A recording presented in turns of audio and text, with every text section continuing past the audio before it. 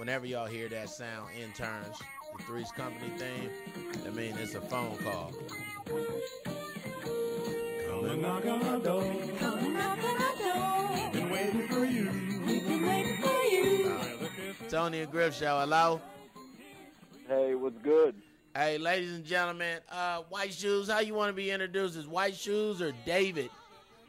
I tell you what, as the illest of the Jews, Mr. White Shoes, checking in on the Toni and Griff show. Y'all were answering for a second. I thought maybe I had dialed the wrong number. I was like, oh, nah. The illest of the Jews, Mr. White Shoes. Ladies and gentlemen, uh, White Shoes is a comedian, but uh, also a veteran uh, from the United States military. And just really tell us a little bit about your background and why we're about to make you our. Um, Political guru. yeah, tell You us like why. that Jew guru? well, Our I'm Jew actually- Yeah, Juru. How about that? I'm actually uh, half Italian and half Jewish, which is the best of the other white meat. And uh, I've been involved in politics all my life. I come from a political family where, where from my mother to my grandfather on, on both sides, have had a huge heart for the community. And uh, mom, like I said, my mom, she works in the church, so I was raised in the church. And uh, my grandfather on my mother's side was a union organizer back in the 50s and 60s.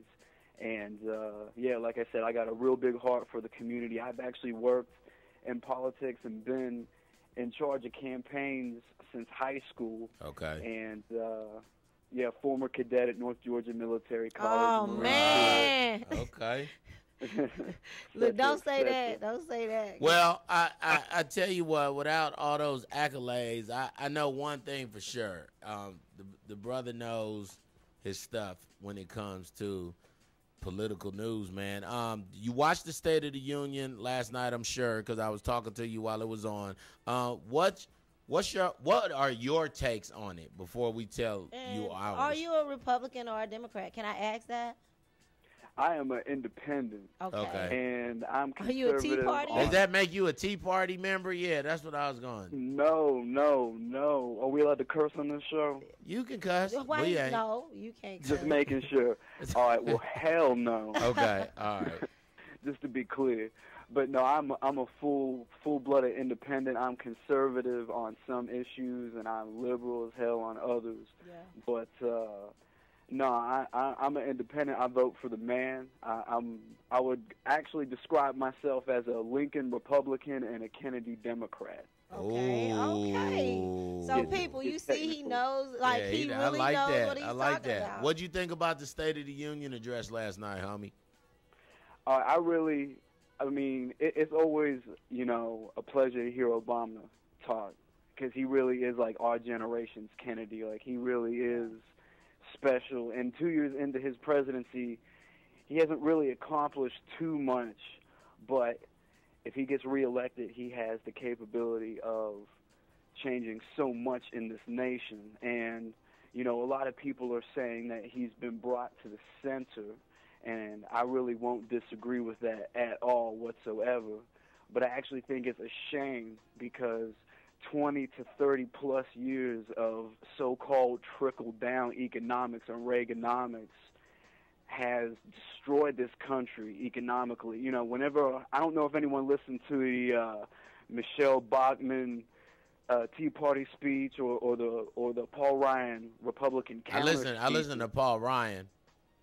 Yeah, I, I mean, both of them are just full of crap. You know what I'm saying? They're, the the party, the the points that they bring up are all the problems of their party. You know what I'm saying? We're at, our nation is at a crossroads where we haven't been at, at least in maybe 20 years, where China and India really do have a chance of giving us a run for our money. Right. And see, right. David, I mean, I'm so glad that you got to that point because that's the exact when I was watching last night, what I noticed was that the speech wasn't for us, it was for other nations. Um, his speech basically, I was like, it sounded like more of a campaign speech to me. Like, okay, we're at the middle right here, and this is my ploy to let other countries know that what what we're about to do. So to get us back to the fact that we can. Well, I think jobs have been created, but we had to reach out to other countries now because we need them more than anything. Right, but once again, Republican Party politics have put us, have cornered us into this position. You know, eight years of outsourcing under Bush. You know, whenever you call up somebody for tech support that used to be college jobs, Yeah. with jobs over in India. Mm-hmm. You know, the steel industry in Pittsburgh was dismantled and sent over to Asia, especially Yeah. Korea. Yeah, yeah, You know yeah. I'm saying? The auto industry was dismantled and sent overseas only to be sent right back, you know, with BMW plants in Greenville, mm-hmm. the Kia plant and, and, and West Point, Georgia. You know what I'm saying? Like these are all Republican Party politics and when they say China, China is a beast that they have specifically created. Yep. You know what I'm saying? It was Nixon that opened up China, Mr. Republican. Yep.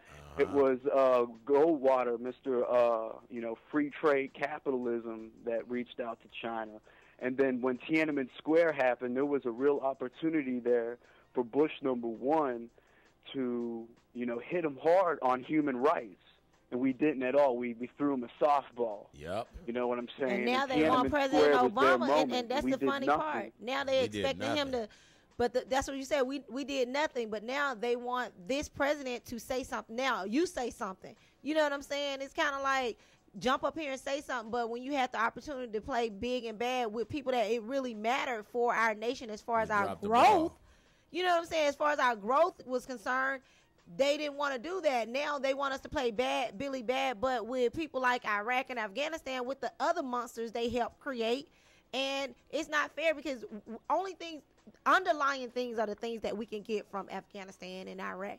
But the things that are apparent that we can get from China, now you want us to do it. You get what I'm saying? Hey, Hey, white, one- hey, you cut out there. One second.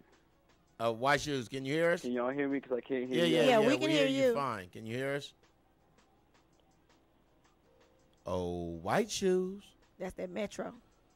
That sound like that Metro. Ladies and gentlemen, Metro is a, a cheap ass phone in any country, probably. White shoes. But they Yeah, serve if I can barely hear you. Okay. Um, hang up and call right back.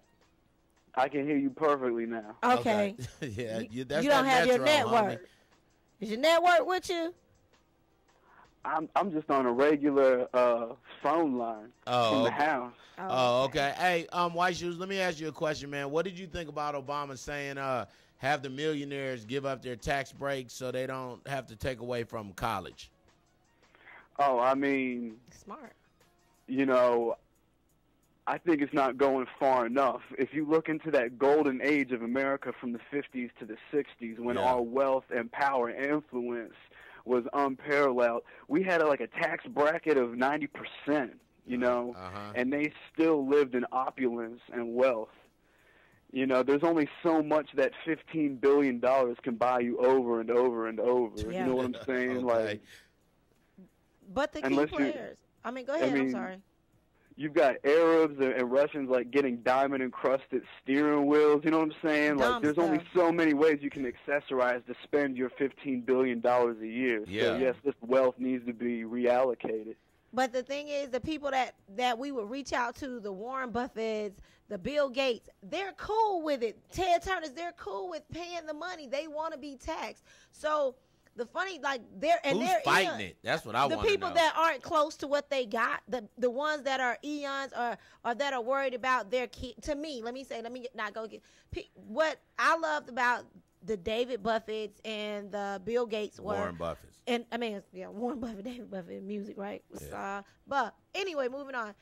I love the fact that they said that they would make their kids work. It's not just about passing wealth on, but you got to work for it. So if we stand for the the same things that we stand on, to me, in the Democratic Party, they want to push that to other countries, and it's just what you want to show.